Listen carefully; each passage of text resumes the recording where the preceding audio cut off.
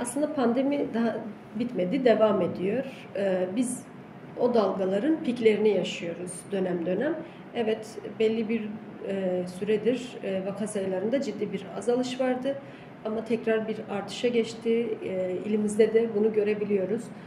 Veriler bizimle şeffaf bir şekilde paylaşılmadığı için elimizde şu an veriler yok ama biz meslektaşlarımızdan, çalışma alanlarımızdan aldığımız bilgilere göre meslektaşlarımızın gördüğü olgular üzerinden diyebiliriz ki neredeyse şikayeti olan ve teste gönderilen her iki kişiden biri pozitif çıkmakta şu an. Ki şu an test isteğe bağlı yapılmakta. Ee, tabii e, bu pandemi e, işte bitti, e, tedbirler kaldırıldı gibi bir algı yaratılarak e, insanlardaki risk algısı da değişmiş oldu ne yazık ki.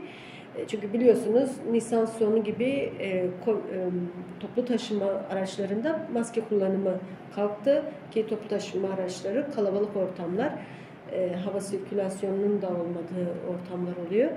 E, ve Mayıs başıyla da e, ameliyatlar ve girişimsel müdahaleler öncesi PCR testi, zorunlu PCR testi yapılması da kaldırılmıştı. Hal böyle olunca da insanlarda risk algısı değişti ve bir rehavet de gelişti. Pandemi bitmiş gibi bir algı yaratıldı.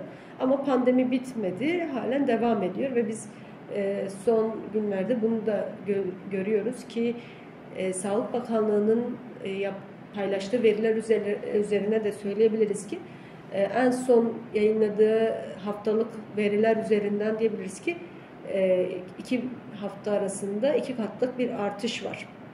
Ki şu an e, testler yaygın yapılmadı, e, isteğe bağlı yapıldığı, e, sen, e, şikayetler olduğunda yapıldığını da farz edersek aslında vaka sayısının açıklanandan daha fazla olduğunu öngörüyoruz.